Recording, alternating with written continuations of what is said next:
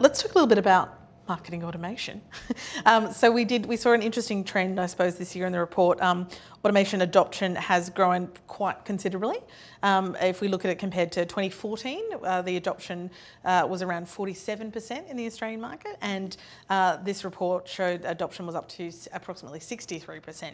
Um, so that's that's some good consistent growth, and I think that's you know reflected in in the conversations in the market. Um, automation is becoming much more commonplace. People recognise it has a, a, clear role to play, uh, and bridging all those gaps and all those points we talked about. Um, but we still saw that around only 42% were actually fully integrated with the CRM. Mm. Um, so not, you know, uh, perhaps there is this situation still where it may be seen as a little bit of a silver bullet. So people get a great automation system in play, off they go, they set it up. Why isn't it miraculously delivering me fantastic leads? Um, whereas they maybe haven't completed the integration piece or they haven't run the sales and marketing alignment piece. Yeah. Um, so I guess, you know, and it reminds me a little bit of the early days of social media where it was, you know, another sort of quick and easy magic bullet, just it's free, it's cheap, it's fantastic, it'll solve all your problems. Of course it doesn't, it needs just the same resources and rigor as everything else and has to, you know, be connected to the rest of your marketing objectives. Um, so I guess if you're one of those organisations who's maybe got their first system or is a little bit down that road but hasn't really, doesn't feel they're getting the most out of it yet, what advice do you guys have to the sort of next steps for them? So I've worked in organisations where we have not had a marketing automation system to living through an implementation of a marketing automation tool to joining a company where it's already been up and running. And you know, I do believe that marketing automation enables sales and marketing to become you know, more closely aligned, definitely in being able to deliver on that sort of seamless customer experience. Mm. Um, it does that because it empowers the marketer you know, to generate leads um, and to really demonstrate marketing accountability. But it takes effort and it is a journey. Um, so I guess what I've learned um, are a few things is, you know, preparation is absolutely key. You know, when you're implementing um, a marketing automation strategy, you need to take the time out to think about the new processes that you might need to implement, mm. but also the outcomes that you're looking to generate from that kind of implementation.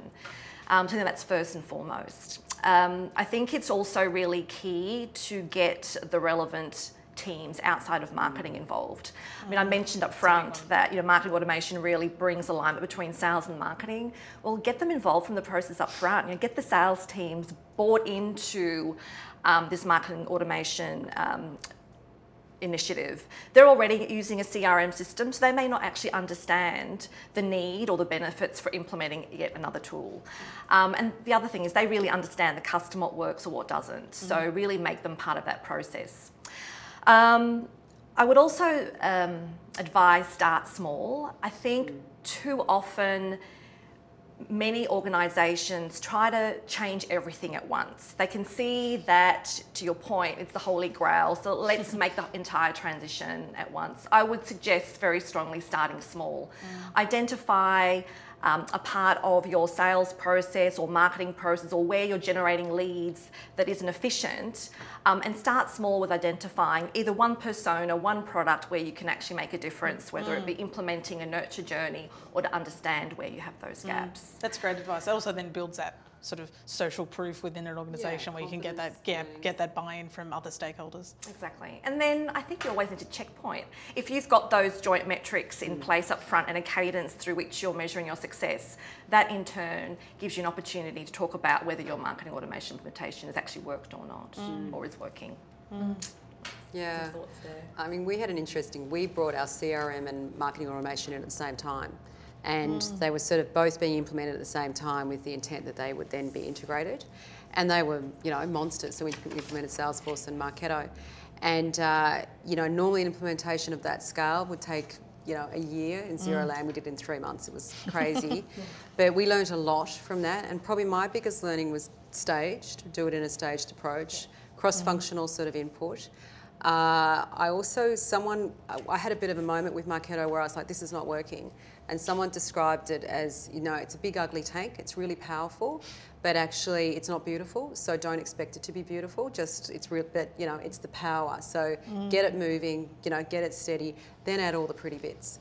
And that took us a good year of bedding it down, building operations teams, combining mm. our marketing and sales operations teams into one That was a really important step for us. And then building it up to go. And now it's been two and a half years and it's really making traction. But that first year was tricky. Rough going, Yeah, yeah. I think that's, as you say, that's important to call out as well because I think it's quite easy to feel it's a big problem, it's overwhelming, that need to change everything all at once, that, Yeah. that the pressure to transform is very uh, steep, and so it's felt as this, you know, a wall of pressure, um, and just acknowledging that it's going to be step by step. It's going to be a gradient. Yeah. Um, you're not in it alone. Or all organisations are going through this to some degree or another. You may be quite quite a ways ahead of many. Exactly. And so just to be and just to be honest and transparent th- about that, or you'll you know you'll The you smaller will you, trip are, yourself the up. more you know nimble, agile you can be to do it. Mm. Um, it you know it will always take time though. So yeah, don't expect miracles overnight because they won't happen. And celebrate, celebrate the small wins Yeah, too. absolutely. But you know, you have to automate to scale. Whether Yeah. you want to go from one to 100 customers or 100 to a million customers, Mm. automation is the key. I think uh, there needs uh, organisations would do well to provide a vision within the organisation as to what marketing automation can achieve, because it often sits within the marketing team. Um, it's then seen as a marketing tool and often a kind of a deployment tool, um, and it's not understood particularly by sales as to the power behind marketing automation. If you really get it right um, and, and it's really running well, it can transform your business, but it's not seen as that within organisations. That's one. The second is training. Um, so we we uh, have marketing automation, um, and taking a team from a traditional approach to much more kind of customer journey led approach is very, very different. And there are so many things that go into that. And training the team up, both on the technology, which is not easy to use, and on um, all of the elements that go into a, an automated marketing campaign. Um, is really important because otherwise they're left with a tool that's great, but they haven't got the skills to use it. Yeah. Uh, and our course is actually on we do marketing automation because they're always the ones that full. And conferences as well. If you do a session on marketing automation, they're always the ones that are full Yep, because I think yep. people realise there's potential there. Absolutely. A lot of people aren't doing But it. as you said, it's it's so much about I think just that initial demystification as well. They kind of have a general sense of what it is and the power it can offer, but it's largely in the abstract until they actually get their hands on the tool, Yeah. have that clear vision, vision and strategy painted, as you say, from from leadership in the business to say this is what we're aiming for, this is the transformation this can help catalyse, Yeah. um, and you all play a part in that actually in every single thing that you do. And I think you made that point originally that you know understanding what their you know their team, their individual, how that piece How contributes. Yeah. exactly, and how that how they use that tool to reach not only their individual and team outcomes, but you know contributing then to the whole of business as well.